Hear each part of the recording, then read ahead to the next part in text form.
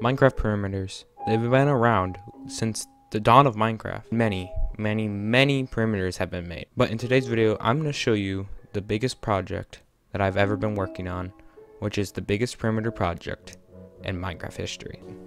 Before I fully tell you about the perimeter, I want to quickly say that this perimeter is not done. It's not even close to being done. If you want to go watch our progress on this, go subscribe. I'm going to be making weekly updates on the perimeter, talking about what has happened that week and everything like that.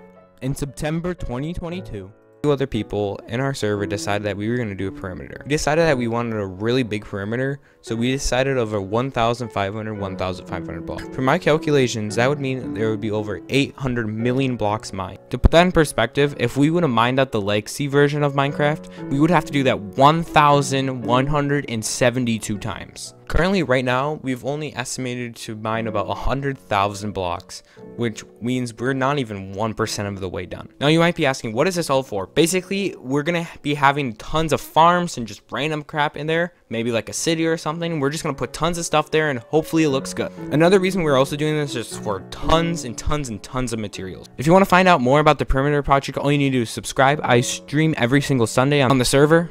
And there'll be a video coming out next week more about the perimeter. If you're watching this in the future, you should be able to just click on the end screen right now. Anyway, I want to say thank you guys so much for watching. Make sure to subscribe so you can find out more about the perimeter. And I'll see you guys in the next video. Bye!